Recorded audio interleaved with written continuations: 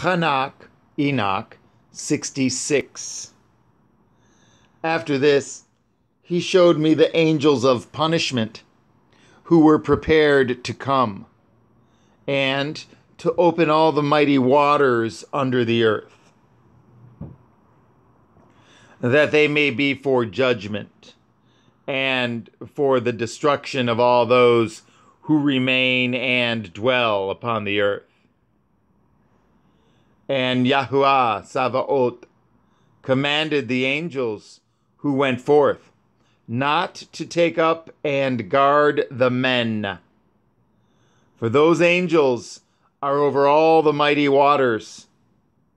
Then I went out from the presence of Chanakh